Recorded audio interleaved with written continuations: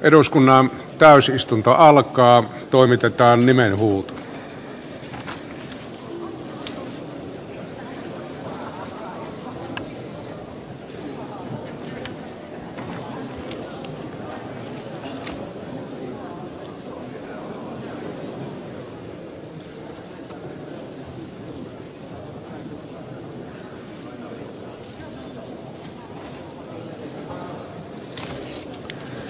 päiväjärjestyksen ensimmäisenä asiana on suullinen kyselytunti jossa esitetään kysymyksiä ministereille. Pyydän paikalla olevia ministereitä siirtymään ministeriaitioon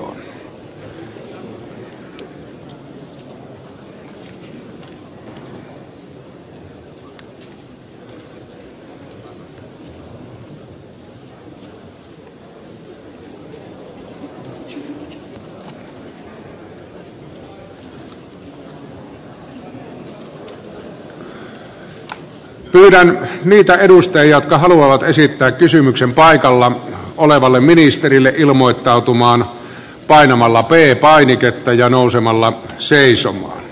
Ja huomautan jo tässä vaiheessa että kysymys ja vastauspuheenvuorot saavat siis kestää enintään yhden minuutin. Siis p painike ja seisaalleen nousten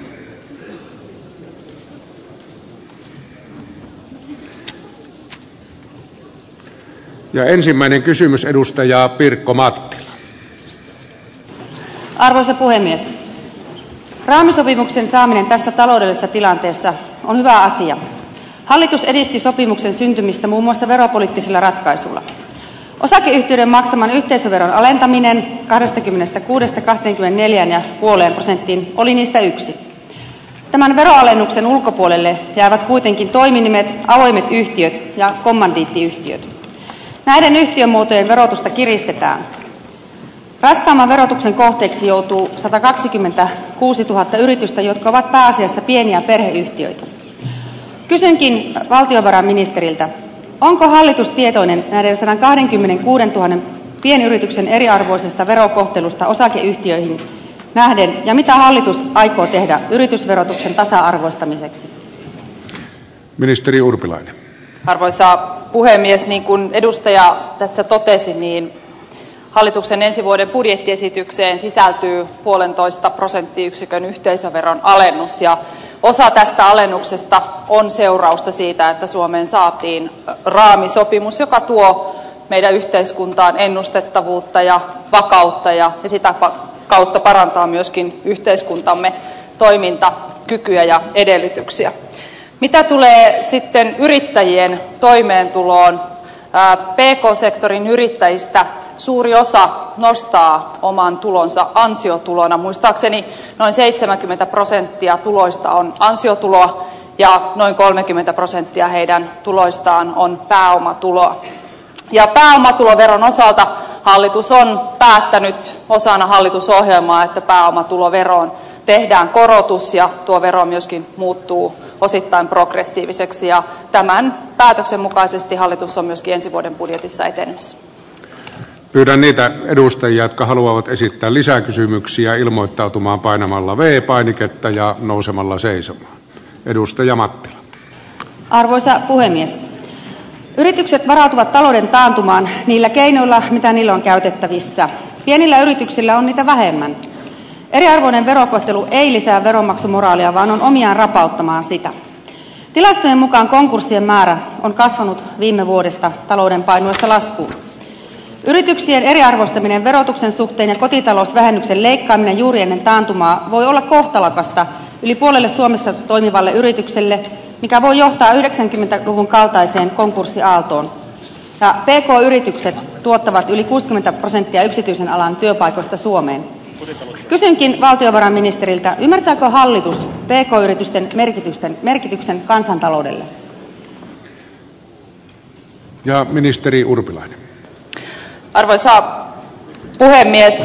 Suomi tarvitsee lisää työpaikkoja suomi tarvitsee lisää talouskasvua sillä mitä useampi suomalainen tekee työtä sen paremmin myöskin suomella ja valtiontaloudella menee.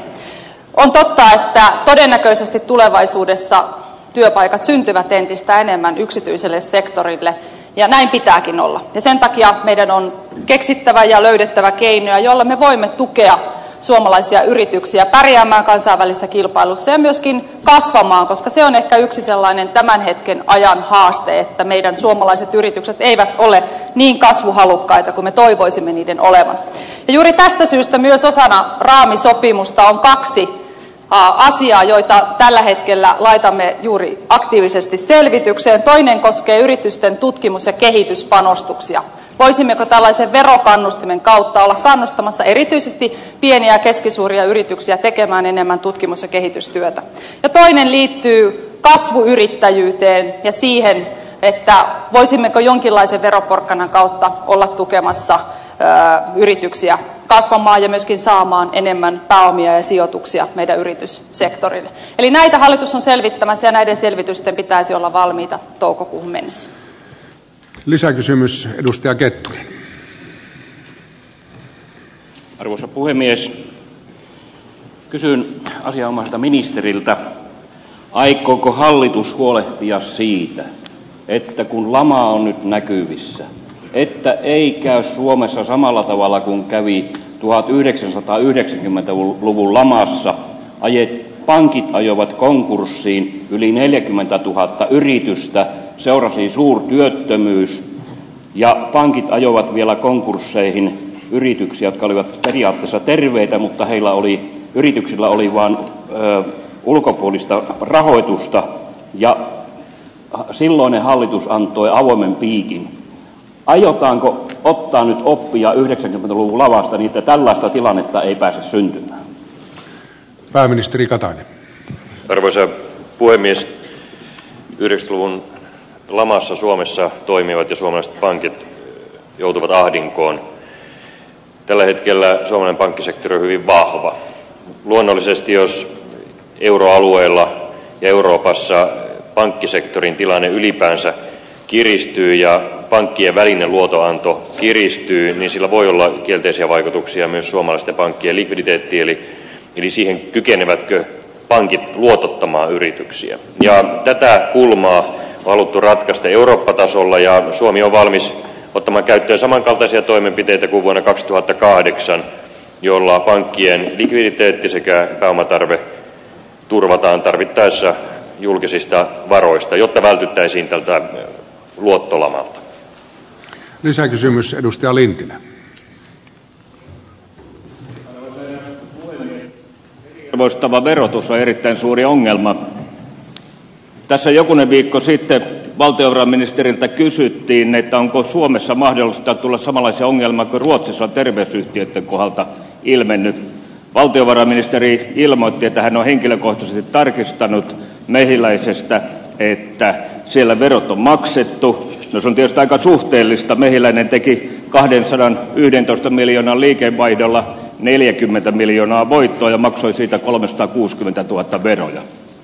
Eli meidän suuri ongelmahan on rajoittamattomat korkovähennykset kansainvälisten konsernien sisällä. Ja tämä porsaanreikä meidän täytyisi välittömästi pystyä tukkimaan. Sama koskee myös siirtohinnottelua. Tiedän, että valtiovarainministeriössä on valmiina olemassa sapluuna, jolla voitaisiin näihin epäkohtiin puuttua. Milloin hallitus tuo esityksen, että tähän epäkohtaan puututaan? Ministeri Urpilainen. Arvoisa puhemies, edustaja Lintilä on täysin oikeassa. Tämä yritysten rajoittamaton korkovähennys on iso ongelma. Ja on tietenkin valitettavaa, että siihen ei viime vaalikaudella ehditty puuttumaan, mutta nyt siihen ollaan puuttumassa. Ja tarkoitus on antaa lakiesitys asiaan liittyen jo ensi kevään aikana, jolloin eduskunta pääsee asiaa käsittelemään. Ylipäänsä tällä hallituksella on hyvin tiukka linja mitä tulee veronkiertoon ja harmaaseen talouteen. Harmaa talous on yksi tämän hallituksen painopistealue, johon tullaan muuten ensi vuonna laittamaan 20 miljoonaa euroa enemmän rahaa, jotta voimme monella eri hallinnon alalla tehdä toimenpiteitä, joilla kitketään niin veronkiertoa kuin muutakin harmaata taloutta. Lisäkysymys edustaja Sarkomaa. Puhemies, syntynyt raamisopimus osoittaa erinomaisesti sen, että Kataisen hallitus on erinomaisen kyvykäs tekemään yhteistyötä ympäröivän yhteiskunnan kanssa. Se on se kyky ja taito jota tässä vaikeassa taloudellisessa tilanteessa tarvitaan mutta myös tarvitaan yrittäjyyttä. Ja kun raamisopimukseen ei mahtunut se tavoite joka hallitusohjelmassa on että työnantajalle vanhemmuudesta aiheutuvat kustannukset jaetaan tasan. Nyt kun raamisopimus on hyväksytty on katsottava eteenpäin. Ja todellakin kun nuo vanhemmuuden kustannukset ovat suurin yrittäjyyden jarru siellä pienissä yrityksissä se on myöskin suurin tasa arvon häpeätahra siellä työelämässä niin kysyn voisiko pääministeri tai valtiovarainministeri luvata että tämä asia nyt hoidetaan tämän kolmannen hallituksen ohjelmassa. Ja toivoisin että kuulisimme että kolmas kerta toden sanoo.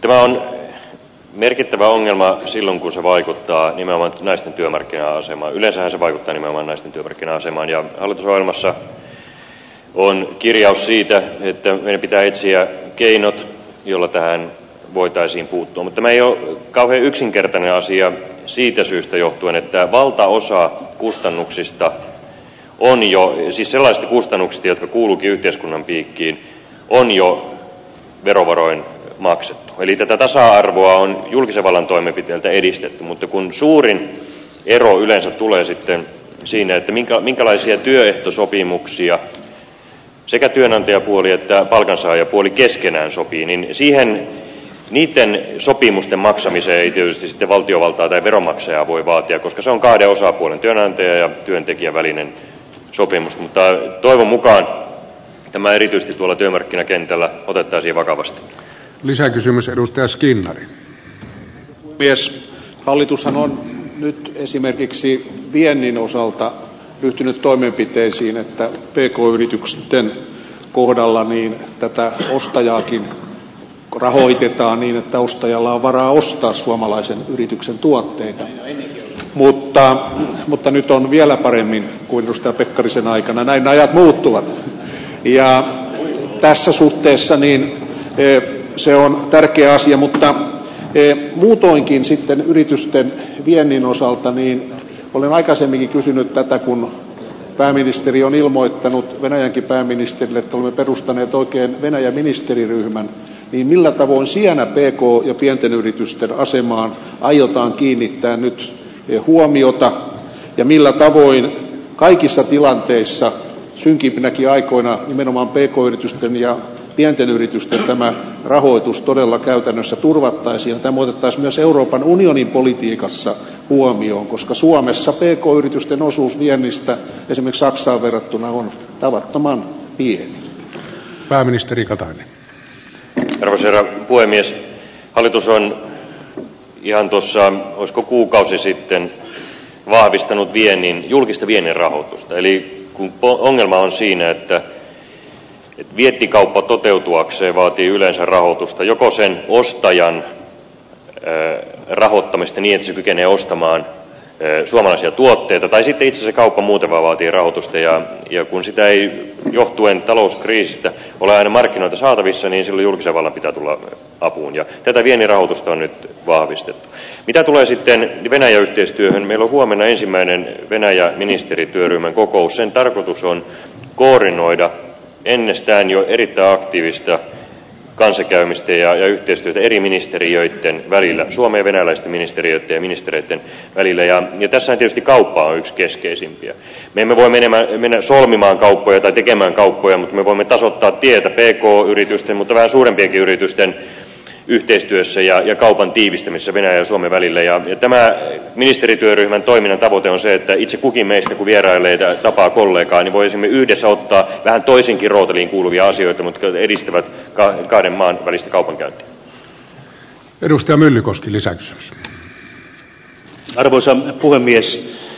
tässä pääministeri toi hyvin esille sen kuinka tärkeää on työehtosopimusten olemassaolo ja siellä turvattavat ratkaisut niin kysynkin jatkoksi kun tässä kysymyksessä tuotiin huoli pienyritysten osalta niin mitenkä valtiovalta itsessään lähtee toimimaan sen peikon kanssa mihinkä kunnat mutta myös valtiovalta itsessään on edistämässä omilla toimillaan kuitenkin säästötavoitteiden paineessa sitä että me pakotamme yksinyrittäjyyteen. me olemme maa ja metsätaloudessa nähneet mitä on tapahtunut kun työehtosopimuksia on purettu ja metsureita on pakotettu olemaan yksinyrittäjiä ei olla enää metsäyhtiöiden palveluksessa vaan heidät pakotetaan sinne. He saavat kyllä saman palkan siitä tehdystä työstä, mutta heille siirtyy itsessään omasta eläkkeestään huolehtimisen velvoitteet.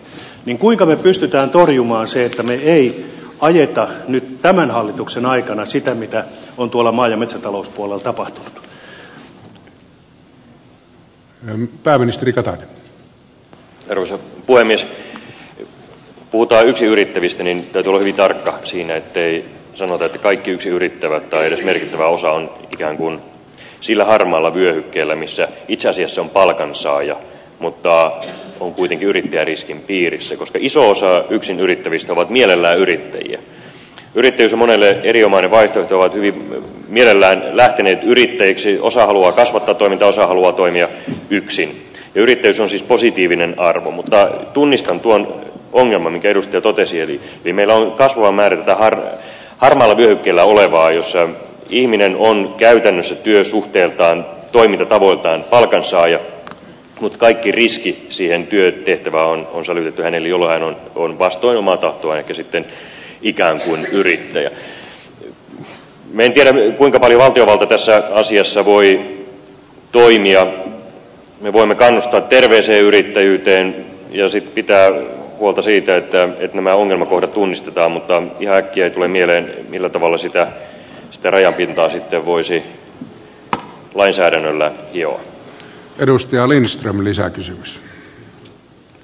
Arvoisa herra puhemies, yrittäjien jaksaminen ei kiinnosta yleisellä tasolla. Sampo Pankin laajan tietokannan mukaan yrittäjätulo yrittäjiksi rekisteröityneille on noin 1000 euroa kuukaudessa, siis alle köyhyysraja. Näin pienillä tuloilla myös yrittäjäeläkekertymä on olematon. Siksi pienyrittäjien on pakko jatkaa pitkälle yli vanhuuseläkeiän. Tämä ei ole kannustavaa. Millä toimenpiteillä hallitus tukee pienyrittäjyyttä, jotta pienyrittäjyys olisi myös nuoria kiinnostava todellinen vaihtoehto?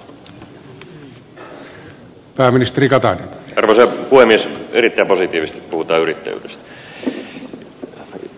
Meillä on normaalit, ihan terveet pelisäännöt yrittäjyydelle ja toisinaan kun halutaan vauhdittaa yrittäjyyttä, niin me haluamme aina lähteä etsimään keinoja, millä sitä voidaan tukea.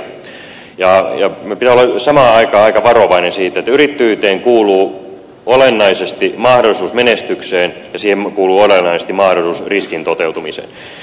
Näin ollen ehkä paras, jota yleensä ei tämmöisessä yrittäjyyskeskustelussa kova, kovasti arvosteta, mutta ehkä kuitenkin paras keino tukea sekä pientä että vähän suurempaa yrittäjyyttä on se, että yhteiskunta on vakaa. Eli meillä on tavallinen hyvä talouskasvu, meillä on reilut pelisäännöt, missä ei ole harmaata taloutta, että jokainen voi yrittää ja onnistua samalta viivalta. Olennaista on se terveet pelisäännöt ja toisaalta talouskasvu. Me voimme yrittää joissakin tapauksissa tehdä jotain hienosääntöä, kuten nyt vaikkapa kasvuyrittäjyyden riskinoton kannusteiden parantamiseksi, mistä valtiovarainministeri tuossa äsken totesi, esimerkiksi kasvuyrittäjyyden veroja muuttamalla, mutta ne on kuitenkin suuressa mittakaavassa aika pieniä kannusteita. Järkevä verotuksen taso, kasvava vakaa yhteiskunta, terveet pelisäännöt. Siinä on hyvä kasvualusta sekä pienille että suurille yrityksille. Edustaja Pekkarinen, lisäkysymys. Arvoisa, arvoisa puhemies, perussuomalaisille on hyvä, että nyt kannatte huolta pienten yritysten verotuksesta. Kuitenkaan teidän omassa vaihtoehtobudjetissa te ette esitä sentinkään latia pienyritysten verotuksen huojentamiseksi. Mutta kysymys nyt hallitukselle.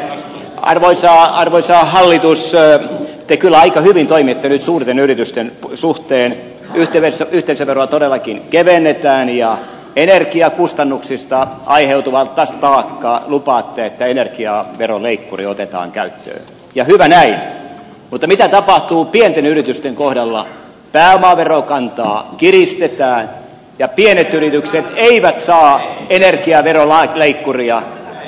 Pienet, yritykset eivät saa energiaveroleikkuria, niin kuin kaikki tiedetään. Ja lisäksi vielä aluekehitysrahoista, jotka ovat yritysten kehittämisen kannalta tärkeitä, tai tutkimus- ja kehittämisrahoista, molemmista leikataan erittäin merkittävästi. Kysymys kuuluu, voisitteko te vielä jotenkin niin kuin luovasti kehittää toimia, millä ihan oikein myös pienten ja joskus keskisuurtenkin yritysten tietä nyt näissä oloissa tasotetaan? Ja ministeri Urpilainen. Arvoisa puhemies, minulle jäi hieman epäselväksi se, että oliko keskustapuolue vastustamassa hallituksen pääomatuloveron kiristämisesitystä. Muistaakseni tuo sisältyi myöskin teidän vaihtoehtobudjettiinne mutta mitä tulee vastaukseeni kuten aikaisemmin jo totesin niin yrittäjien tulosta suuri osa on ansiotuloa. Ja hallitus ei ole kiristämässä ansiotuloverotusta koska me haluamme että työnteko on jatkossakin kannattavaa mutta valitettavasti keskusta on kiristämässä ansiotuloverotusta ja tätä kautta myöskin yrittäjien verotusta. Hallitus on tekemässä selvityksen tutkimus ja kehityspanostuksia koskevasta verovähennyksestä ja kuten aikaisemmin kerroin myöskin kasvuyrittäjyyteen liittyvästä verokannustimesta ja näiden selvitysten on tarkoitus olla toukokuuhun mennessä valmiita ja sen jälkeen me teemme sitten päätökset siltä osin että otammeko jommankumman tai molemmat näistä vähennyksistä käyttöön.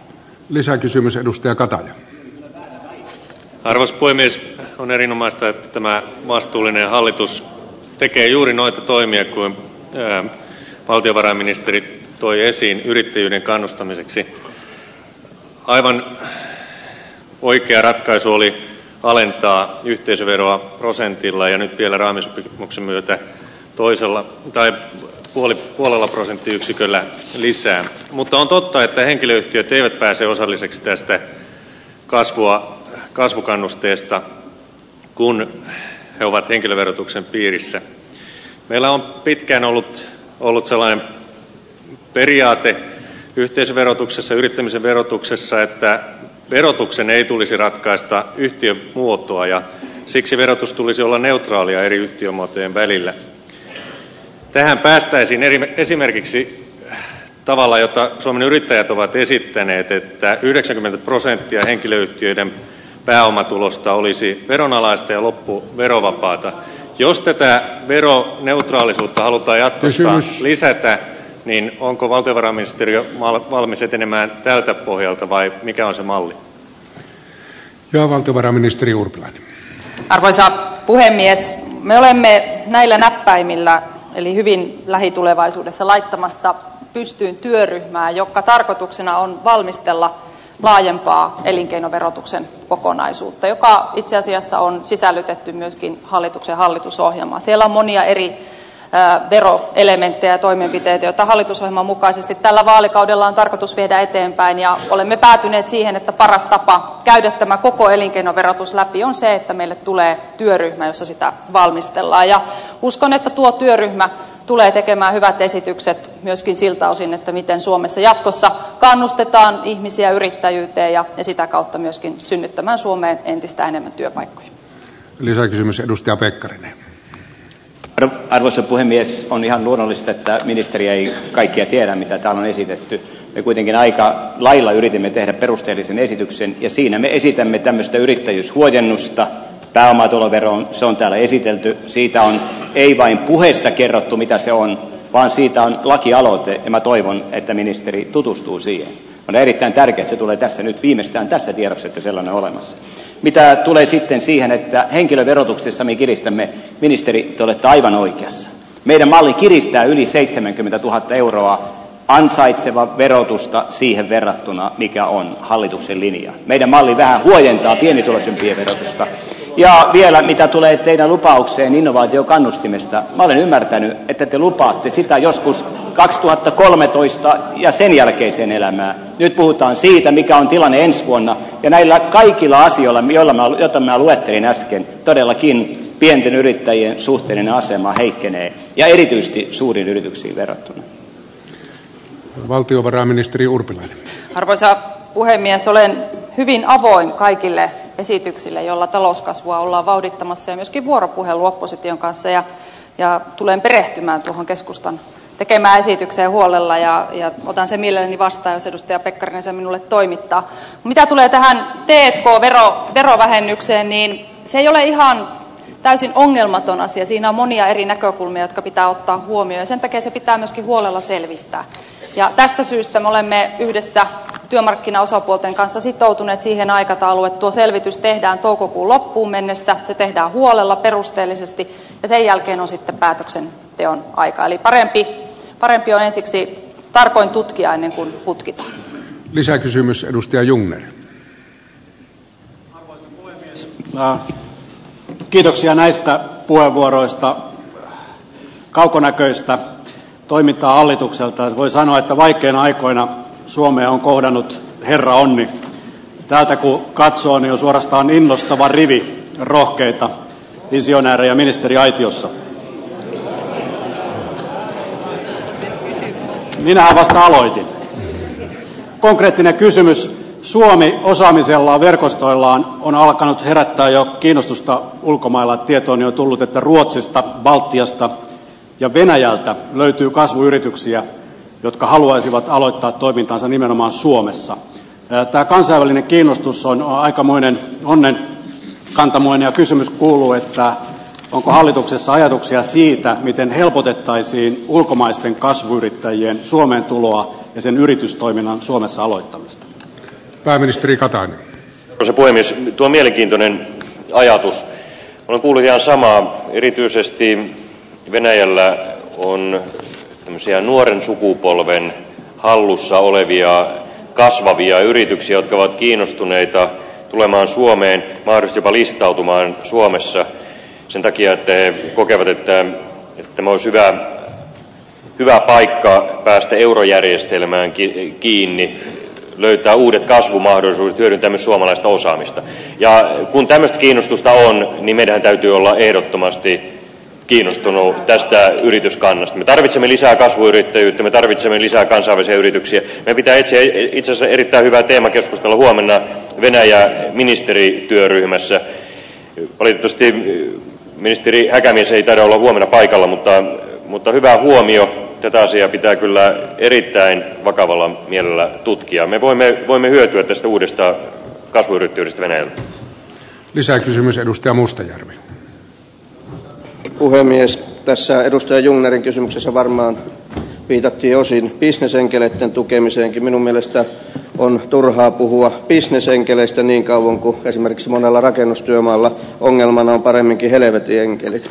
Mutta tästä itse alkuperäisestä kysymyksestä me kuultiin että, yli 100 000 pienyrittäjää asetetaan eriarvoiseen asemaan ja sitä tietoa pitää peilata sitä vasten, että arvonlisäveroahan tullaan korottamaan.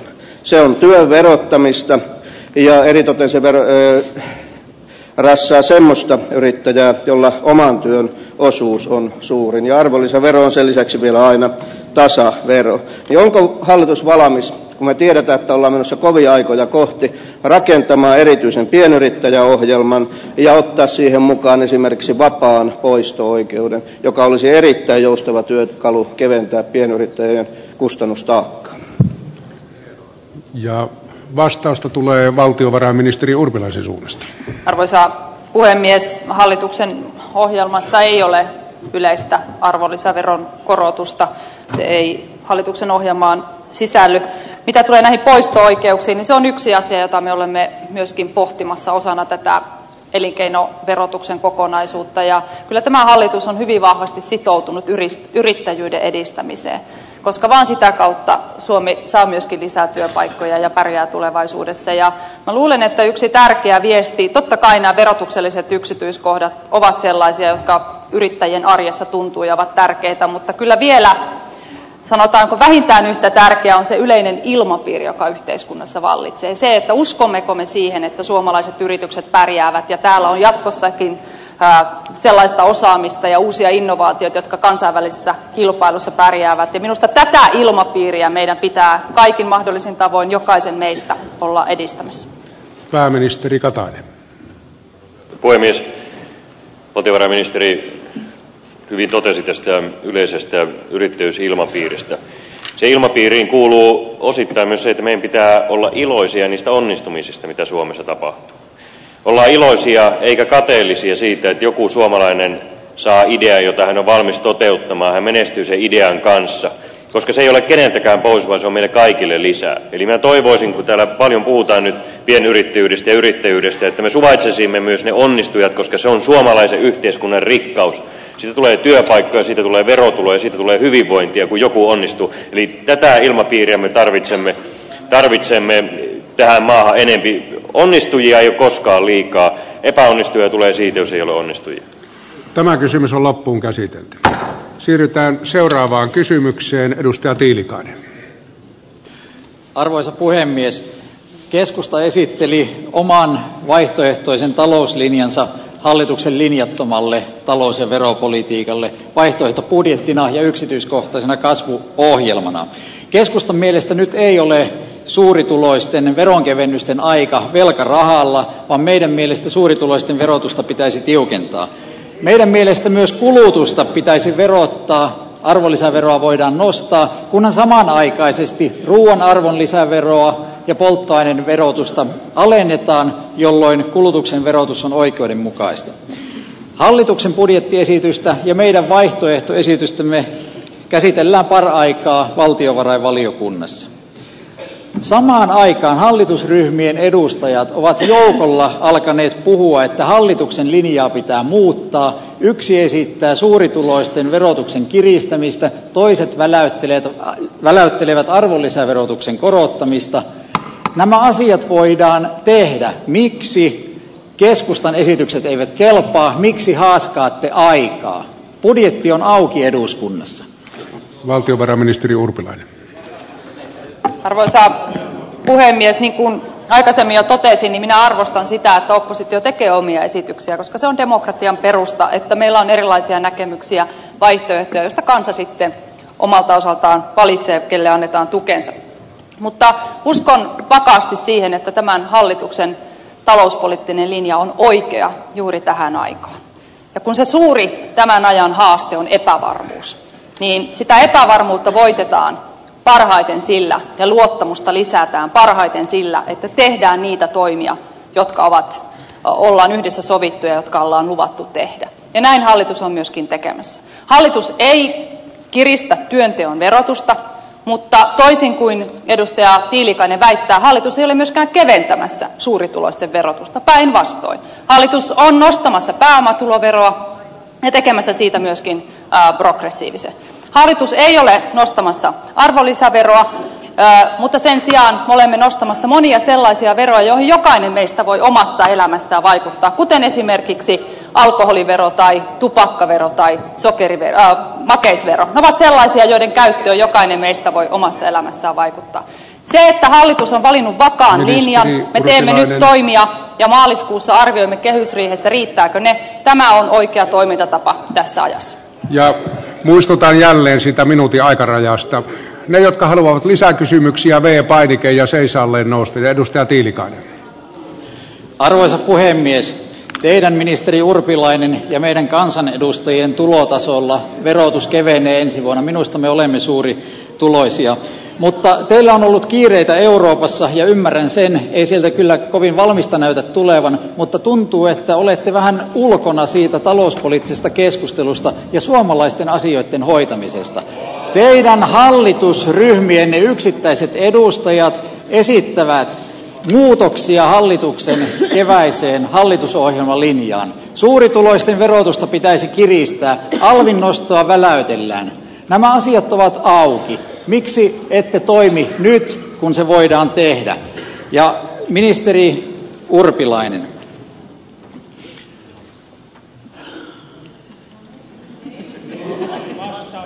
Mitä hän vielä kysyisi?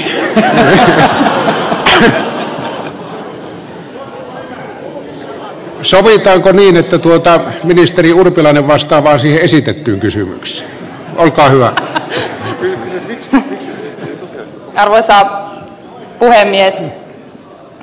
edustaja tiilikainen totesi että euroopan talouskriisi on vakava ja se vie paljon tällä hetkellä valtiovarainministerin ja myöskin pääministerin aikaa. Se on totta. Mutta kaikki ne toimet joita me teemme euroopassa on samalla toimia myöskin suomen talouden puolustamiseksi. Koska me olemme avoin pieni kansantalous me olemme poikkeuksellisen riippuvaisia myöskin euroopan taloudesta ja sen kehityksestä. Ja tästä syystä ne toimet joilla me olemme puolustamassa suomalaista veronmaksajaa ja suomen kansantaloutta ovat mielestäni kaiken ajan ja energian käytön arvoisia. Mutta mitä tulee sitten hallituksen talouspolitiikan linjaan joka on hyvin vakaa ja johon käytetään myöskin paljon aikaa sen politiikan toteuttamiseen. Me olemme tekemässä merkittäviä sopeutustoimia ensi vuonna. Se on budjetissa sisään kirjattuna joka on tällä hetkellä eduskunnan käsittelyssä. Sen lisäksi teemme kasvua ja työllisyyttä tukevia toimia ja laitamme liikkeelle myöskin isoja rakenneuudistuksia kuten kuntauudistus joka on välttämätön jotta voimme vastata tähän pitkän aikavälin kestävyysvajeeseen. Lisäkysymys edustaja turunen. Arvoisa puhemies ministeri täällä luetteli niitä veroja ja että mihin ihmiset voi itse vaikuttaa. Mutta kysyisin ministeriltä miten polttoaineveroihin voi vaikuttaa henkilö joka asuu tuolla kauempana maaseudulla josta on viety posti julkinen liikenne terveyspalvelut ja kaikki lukuisat muutkin palvelut työpaikat. Se on pakko liikkua autolla ja käyttää niitä polttoaineveroja. Ei niihin itse voi vaikuttaa. Vai mitä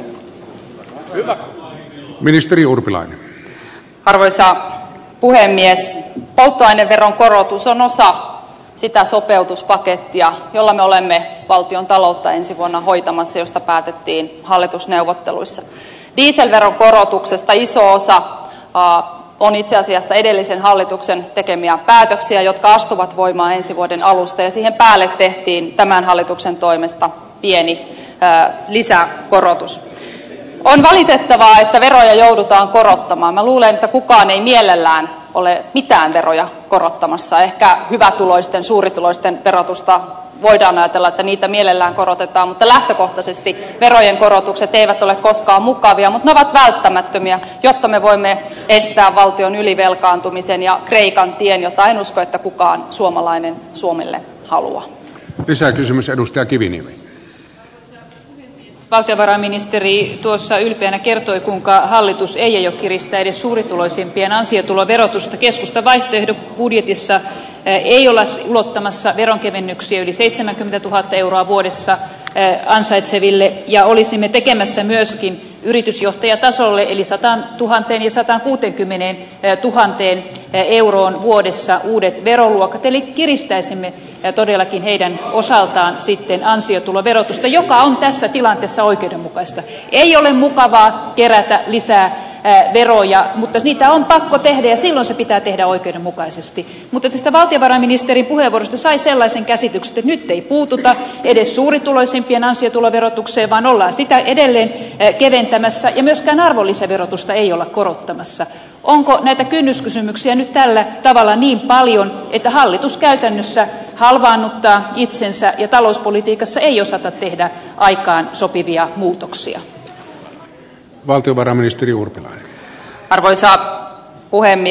nyt on hyvä todeta edustaja kiviniemelle että me emme ole keventämässä suurituloisten verotusta. Me olemme pitämässä ansiotuloverotuksen nykytasolla.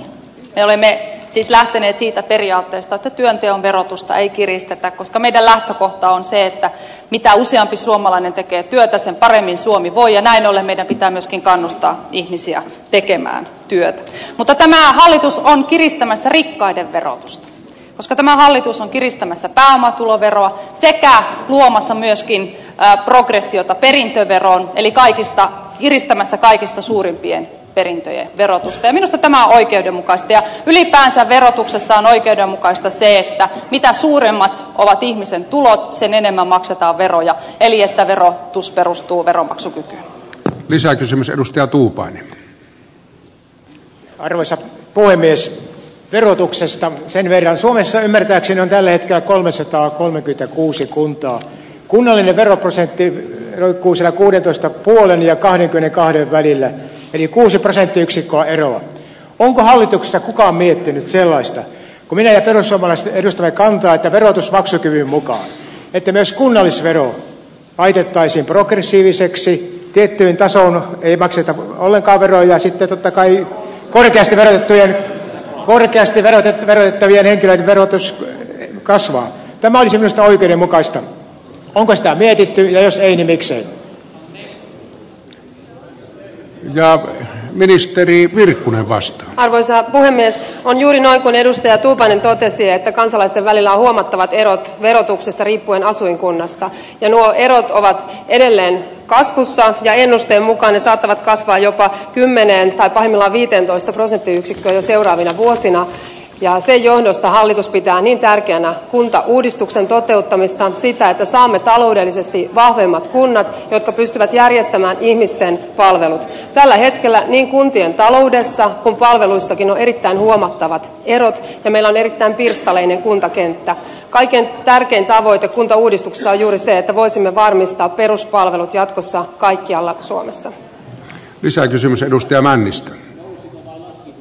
Kiitos arvoisa puhemies. Keskusta korottaisi veroja miljardilla eurolla hallitusta enemmän ja käyttäisi talouden tasapainotukseen vähän yli 300 miljoonaa tästä. Loput ripoteltaisiin sinne tänne, joten kyllä tässä voi todeta, että keskustan linja kuristaisi tätä taloutta, kun taas hallitus on kasvuhaluisella ja kasvuhakuisella linjalla. Oli hienoa kuulla pääministeriltä, että myös tähän Venäjältä Suomeen yrittämään haluavien nuorten asemaa on pohdittu ja tässähän ongelmana on se että yrittäjäviisumin ja oleskeluluvan ehtona on se että yrityksen toiminta on kannattavaa ja ely keskus arvioi tätä kannattavuutta jo ensimmäisessä hakemuksessa. kysyisinkin sisäministeri räsäseltä että onko tältä osin oleskeluluvan ehtoihin arvioitu helpotuksia koska yrityksen alkuvaiheessa tuo toiminta ei voi olla kannattavaa eikä näissä startup yrityksissä se sitä ole mutta silti olisi arvokasta saada näistä naapurimaista yrittäjiä suomeen. Ministeri Räsänen.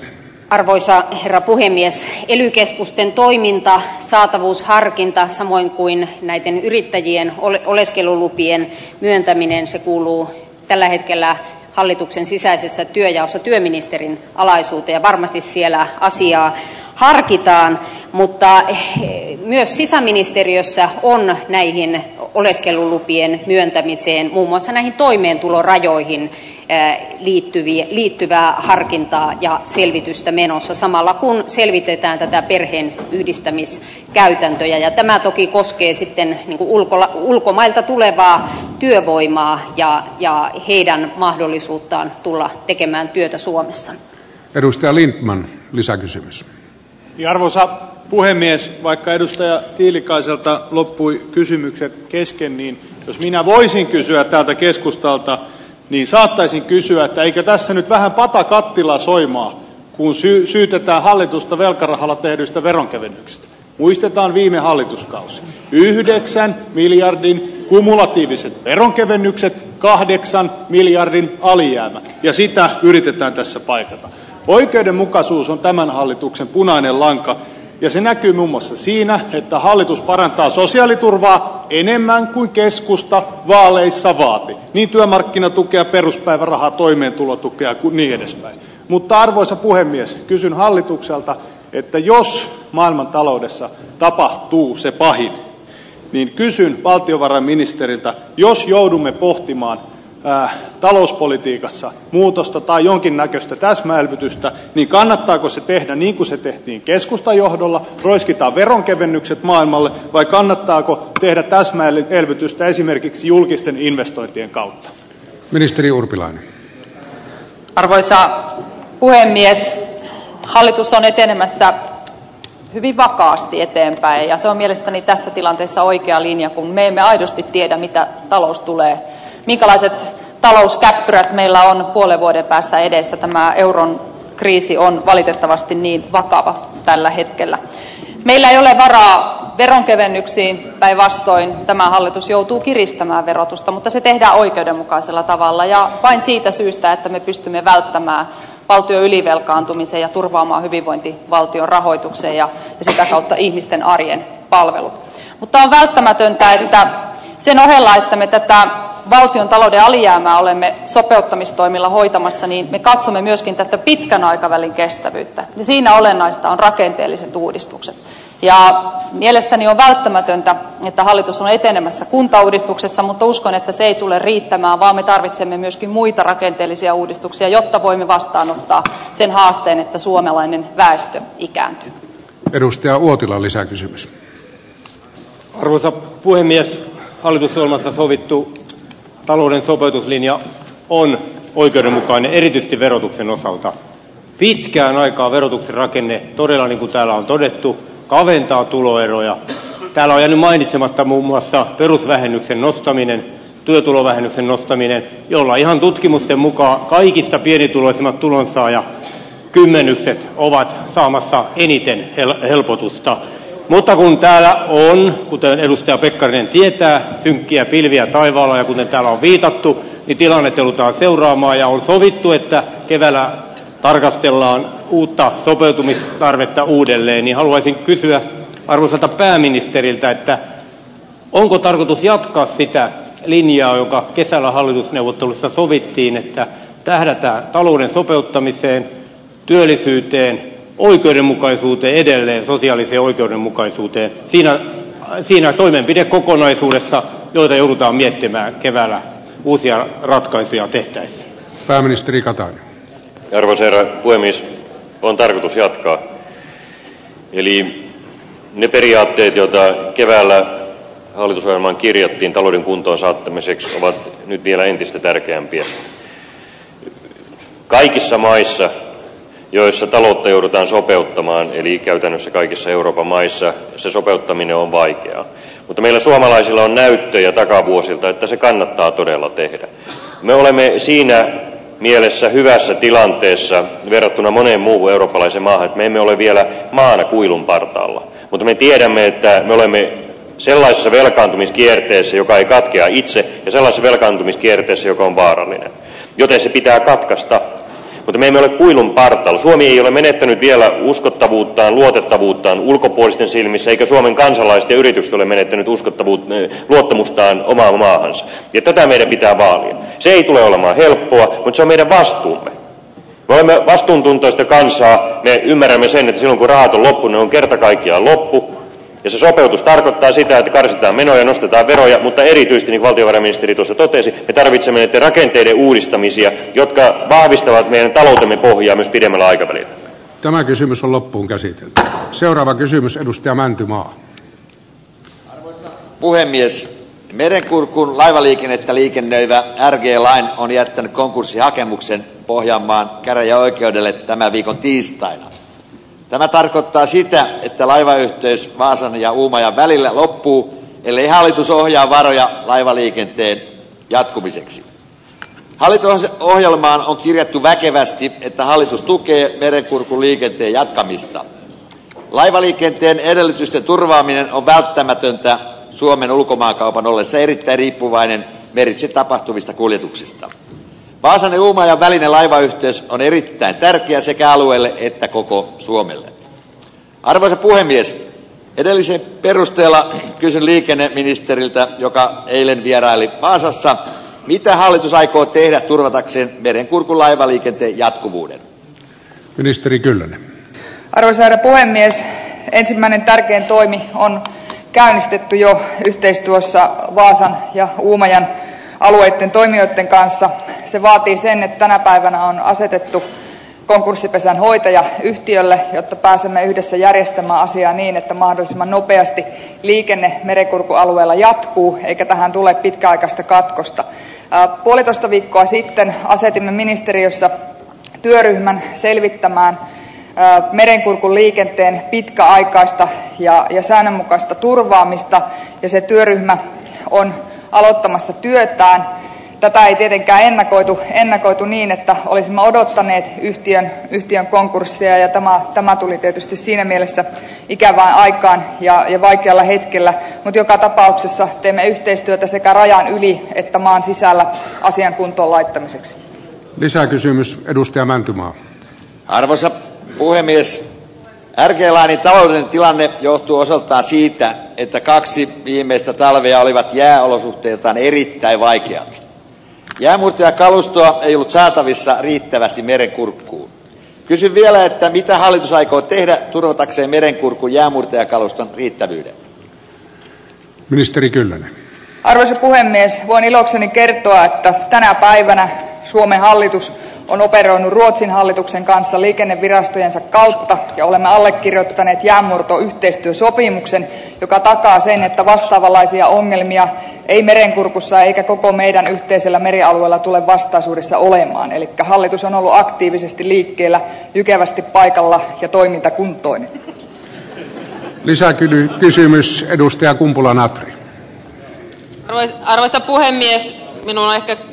liian aikaista kiittää ministeriä koska tällä hetkellä elämme tuossa merenkurkun helmessä vaasan kaupungissa hieman hätääntyneissä tunnelmissa suoraan sanottuna. Vaasan kaupunki on pitkään aikaan myös Pohjanmaan liitto ollut mukana tässä tekemässä ja ennen kaikkea kyseessä on historiallinen satoja vuosia vanha elävä kauppareitti, kulttuurivaihtoreitti, yhteisen elämän tavan reitti. Se katkesi Suomen vähän oudosti EU-jäsenyyden muoto, kun taksfree sieltä lähti pois, mutta nyt on ollut onneksi toimia. Paikallinen yrittäjä on hoitanut tätä tähän asti. Tämä jäämurtaja-apu, mikäli sitä nyt tänä talvena tarvitaan, niin on varmaan tulevallekin yrittäjälle tai järjestelylle tarpeen ja kaiken kaikkiaan kiinnostaisi, kuinka Suomi jatkossa turvaa satamien kautta tulevan meriliikenteen, koska siitä olemme elinriippuvaisia. Mutta ehkä vielä kysymys myös sen suhteen, että Vaasan satama ei nyt ollut tuossa TEN-verkostoesityksessä ja silti kyseessä on Keski-Pohjolan tärkein mahdollinen reitti. Mennään sitten Norjasta Uuma ja Vaasa väliltä vaikka itä, itä, meri, itärajan yli asti, niin Keski-Pohjolan reitti tulisi turvata. Ministeri Kyllönen. Arvoisa puhemies, edustaja Kumpula Natri on täysin oikeassa tässä asiassa ja kun ministeri eilen vieraille iso, isoilla yhtiöillä esimerkiksi Wärtsilällä niin sataman merkitys ja arvo, arvo eritoten sillä alueella korostuu, varsinkin liittyen näihin maantiekuljetuksiin, mitä siellä isojen, isojen moottoreiden osalta, osalta tapahtuu. Ja uskon, että hallitus nyt ennen U-kirjelmän tuloa eduskuntaan niin miettii vielä sekä ydinverkon että kattavan verkon osalta, minkälaisen linjauksen Suomi tässä asiassa tulee tekemään. Tämä kysymys on loppuun käsitelty. Seuraava kysymys, edustaja Kalliorinne. Arvoisa puhemies, julkisuudessa on ollut paljon esillä tapaus, jossa Kauhajoilla asuvaa vietnamilaisperhettä uhkaa maasta karkoitus, koska viranomaisten mielestä perheen ansiotaso on liian matala. Perheen itsensä mielestä heidän työtulonsa ovat aivan riittävät ja he tulevat ansioillaan aivan hyvin toimeen.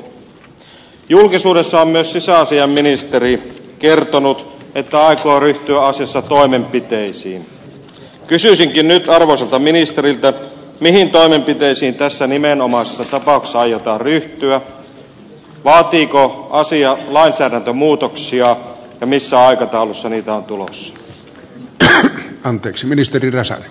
Arvoisa herra puhemies, tietenkään yksittäistapauksiin ministerillä ei ole toimivaltaa niiden ratkaisemiseen, mutta sisäasiainministeriössä on asetettu työryhmä, joka selvittää perheen yhdistämiskäytäntöjä ja niihin liittyviä toimeentuloedellytyksiä sekä turvapaikanhakijoiden osalta että sitten samassa yhteydessä myös työperäisen maahanmuuton osalta. On aivan totta, että niissä tilanteissa, joissa on kyseessä lapsiperhe, esimerkiksi kaksi lasta, niin nuo toimeentulorajat, jotka eivät ole sinänsä lakisääteisiä, vaan suuntaa antavia, niin ovat kyllä melkoisen korkeita. Ja sinänsä lähtökohtana on, on ollut se, että ulkomaalaislaissa, että oleskeluluvan myöntäminen edellyttää turvattua toimeentuloa ja sitä, että ei jouduttaisi turvaantumaan toimeentulotukeen. Mutta kyllä mielestäni on syytä näitä, näitä rajoja tarkastella. Lisäkysymys edustaja Kalliorinne. Arvoisa puhemies, viime viikolla eduskunnassa hyväksyttiin niin sanottu erityisosaajadirektiivi, eli jos ulkomaalaisen työntekijän ansiotaso ylittää puolitoista kertaisesti suomalaisen keskimääräisen ansiotason, niin hän ja hänen perheensä ovat oikeutettuja kaikkiin samoihin palveluihin kuin Suomen kansalaiset ovat. Kauhajoen tapaukseen verrattuna tilanne on hieman erikoinen. Eli jos työperäinen maahanmuuttaja erityisosaajadirektiivin piirissä tienaa tarpeeksi paljon niin hän ja hänen perheensä ovat oikeutettuja kaikkiin palveluihin niin kuin Suomen kansalaiset, mutta jos hän tienaa liian vähän, hän on oikeutettu maastakarkoituspäätökseen. Onko tämä oikeudenmukaisuusperiaatteen mukaista ja mihin toimenpiteisiin aiotaan ryhtyä tämän sosiaaliturvan yhtenäistämiseksi? Niin, arvoisa herra puhemies, todellakin tämä liittyy meidän tällä hetkellä voimassa olevaan ulkomaalaislakiin, että siinä on asetettu nämä tietyt toimeentuloedellytykset. sinänsä nämä euromääräiset rajat ovat suuntaa antavia ja niistä voidaan myös tietyn harkinnan puitteissa poiketa ja esimerkiksi voidaan ottaa myös huomioon puolison mahdollisuudet työllistyä jos asia tuodaan esille oleskelulupahakemusta tehtäessä. Mutta kuten totesin niin itsekin ajattelen että tätä on kyllä syytä selvittää varsinkin samassa yhteydessä kun näitä perheenyhdistämiskäytäntöjä nimenomaan turvapaikanhakijoiden kohdalla selvitetään ja katsotaan olisiko mahdollista saada jonkinlaiset toimeentuloedellytykset myös humanitäärisen maahanmuuton kohdalla niin silloin voidaan katsoa onko tarpeen kohtuullistaa nimenomaan lapsiperheiden kohdalla työperäisen maahanmuuton toimeentuloedellytyksiä tämä kysymys on loppuun käsitelty. Seuraava kysymys edustaja sinnemäki. Arvoisa puhemies tämä kysymys on ministeri koskiselle. Hallitus on ohjelmassaan sitoutunut luonnonlohen suojeluun. Tänä syksynä euroopan komissio esitti lohen kalastuskiintiöiden aikaisempaa paljon suurempaa leikkausta.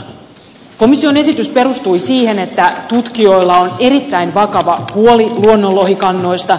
Itse asiassa tutkijoiden esitys oli se että lohen kalastuksessa pidettäisiin tauko tehtäisiin moratorio kunnes katsotaan selviääkö luonnonlohi eduskunnassa oli suuri joukko kansanedustajia eri puolueista jotka ymmärsivät hyvin tätä komission melko tiukkaa esitystä. Eduskunnassa on halu suojella luonnonlohta ja eduskunnassa tiedostetaan myös hirveän hyvin virkistyskalastuksen mahdollisuudet luoda pysyviä työpaikkoja kysyisin ministeri koskiselta kun meillä on edessä monia näitä kiintiöpäätöksiä ja eduskunnassa nyt myös käsitellään komission ehdotusta itämeren lohikantojen kestävästä käytöstä. Onhan maa ja metsätalousministeriö sydämessään sitoutunut luonnonlohikantojen säilyttämiseen? Ministeri koskinen sydämen asia. Arvoisa herra puhemies televisiosta tulee erinomainen sarja sydämen asialla että sitä kannattaa katsoa. Siellä ihan lohiasioita kyllä käsitellään mutta ehkä jotain muuta sieltä oppii. Tämä lohiasia ei ole ollenkaan yksinkertainen eikä helppo. Tämä ei ole ensimmäinen kerta tästä asiasta puhutaan eikä varmasti viimeinen että tämä on kestänyt vuosia ellei vuosikymmeniä. Mutta maa ja metsätalousministeriössä on kyllä tehty monenlaista ja tullaan tekemäänkin monenlaista tulevina vuosina. Täällä on lohenhoitosuunnitelma on käsittelyssä täällä eduskunnassa ministeriössä valmistellaan laajan lausuntokierroksen pohjalta kalatiestrategiaa mikä vaikuttaa tähän. Me olemme olleet yhteydessä komissioon monta kertaa että saisimme kuriin puolalaisten harjoittaman laittoman kalastuksen itämerellä.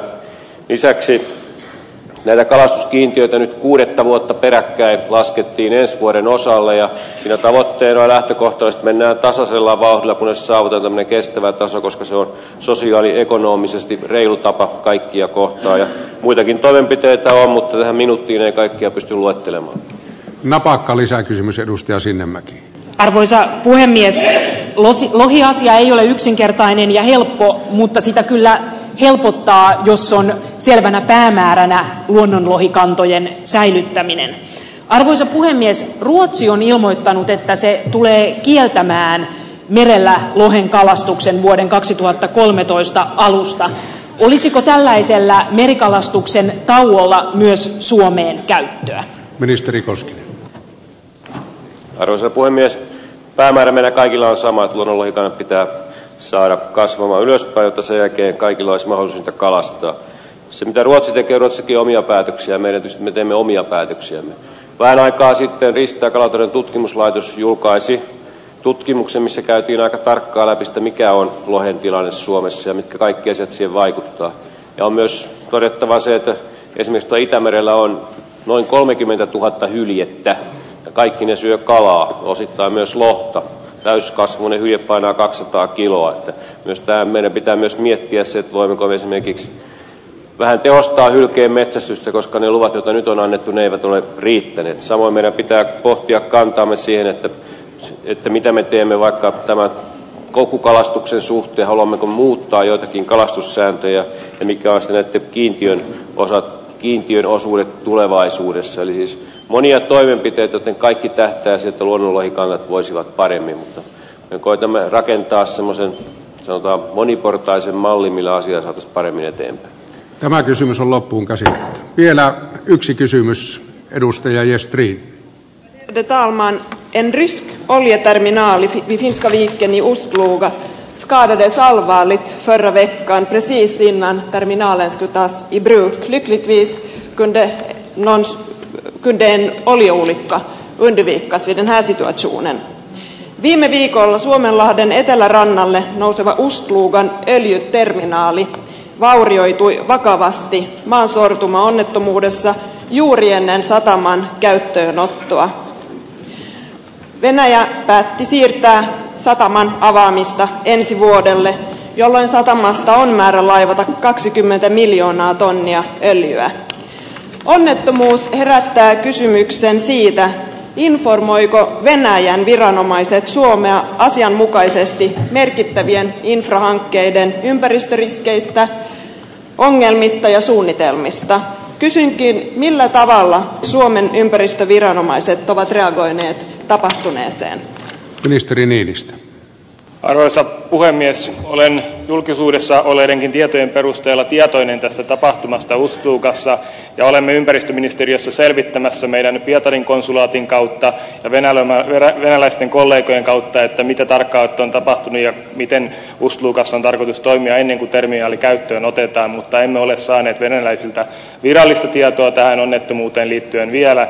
Ja on kuitenkin todettava, että Venäjähän ei ole Espoon sopimuksessa mukana, jossa tämä kansainvälinen ympäristövaikutusten arviointi tulee automaattisesti mukaan, mutta olemme pyrkineet varmistamaan, että Venäjä noudattaisi mahdollisimman paljon tätä menettelyä. He tekevät sitä ajoittain ja ovat vihjanneet siihen suuntaan, että voisivat ratifioida sopimuksen ja sen eteen teemme töitä. Tämä kysymys on loppuun käsitelty. Kyselytunti on päättynyt.